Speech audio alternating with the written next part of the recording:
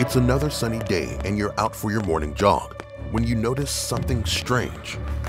The birds seem to be acting funny and are louder than usual. All of a sudden, a great big shadow is cast over you. The sky turns dark as thousands of unknown crafts blot out the sun. Uh-oh, looks like we've got company. What now? Well, put on your tinfoil hats and pay close attention. This is How to Survive an Alien Invasion. With over decades of films and convincing radio plays, aliens have captivated our imaginations and our worst fears. They've come in all shapes and sizes, looking either cute and cuddly or absolutely terrifying. More often than not, they're portrayed as devious humanoids that have come to Earth to experiment on us or wipe us out. But what if they're friendly and just here to help? Either way, we'll need to be cautious and prepared if we want to, in the words of Mr. Spock, live long and prosper. Where would aliens land? How could we learn their intentions? And if they're mean, how do we get rid of them? Step 1. Establish communication. Okay, let's imagine that SETI, the search for extraterrestrial intelligence, receives a signal from aliens approaching Earth. World leaders would be notified and quickly gather together the best and brightest scientists. All of this would be done discreetly, of course, to keep the public from panicking. As world governments prepare for the worst and try to keep things secret, their cover is blown as alien crafts descend over prominent monuments with the intention of drawing massive crowds. Linguists, physicists, biologists, and astronomers would band together to help decipher their language and origin. Efforts would be made to develop some form of communication. Maybe a backlog of what-if videos would get them up to speed. In the 1970s, NASA sent out two gold records on the Voyager spacecrafts with words, music, phrases, letters, and a diagram of the human body. This was in hopes that if aliens intercepted and studied the record, they would understand where we are and that we are friends, not foes or food. Hopefully in this case, they've gotten the message. So how do we approach these aliens? Well, if the movies are to be believed, it might be in our best interest to think like environmentalists. Peaceful aliens could be here to help us clean up our act, or specifically, our planet. If we're nice to them, maybe they will share their advanced knowledge and technology, or broker a peace treaty in exchange for vital resources. If all goes well, we'll have new cosmic allies and maybe hover cars if we're lucky. Yes, finally. Okay, okay, I'm getting ahead of myself here. Let's be real. This is all wishful thinking. What if these aliens are out for blood? Would we even stand a chance? While scientists may try to establish peaceful communication with the aliens, the military may have other plans. Step 2. Destroy them in space. The world's militaries would need to break out a master plan, starting from the moment a hostile message is received and decoded. The first line of defense would be in space. Even a small piece of space junk could destroy a spacecraft. The Space Shuttle Columbia broke apart upon returning to the Earth's orbit after foam fell off an external tank and damaged a wing. In this case, our best bet would be to start blowing things up in low Earth orbit, such as satellites, missiles, and whatever space junk we have. If all goes well, we could take them out before they even step foot or tentacle on our planet. But if their ships manage to survive the barrage and enter Earth's atmosphere, the military would have to strike with their full might. We're talking fighter jets, missiles, guns, tanks, and whatever we have. But what if their defenses are too strong? Step 3. Don't panic.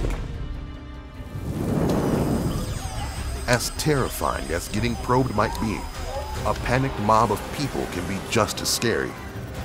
Whatever the scenario is, we shouldn't freak out and buy massive quantities of toilet paper.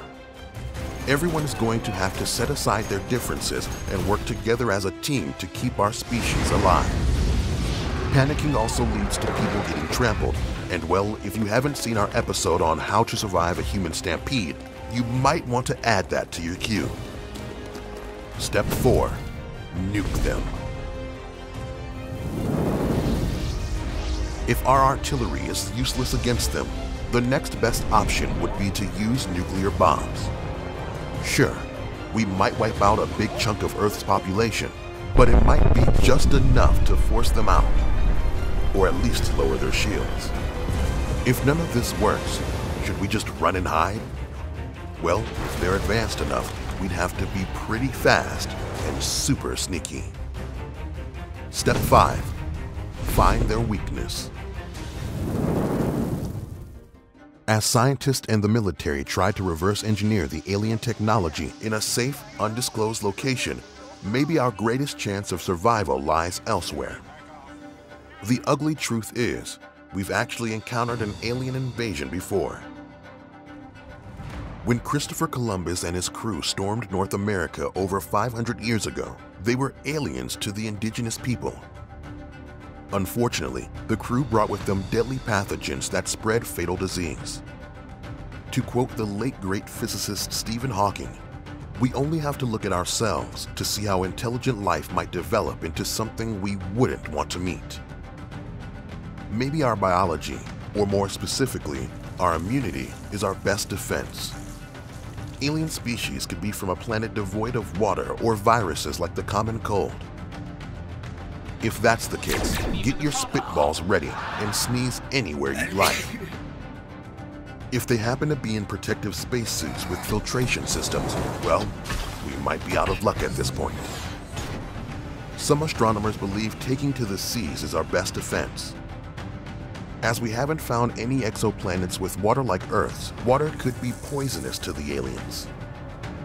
Perhaps setting up shop at the U.S. Naval Academy in Annapolis, Maryland would be a good place to be, what with all the seafaring technology at their disposal.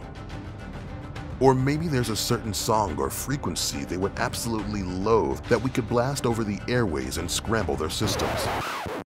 Who's up for some polka? Step 6 surrender.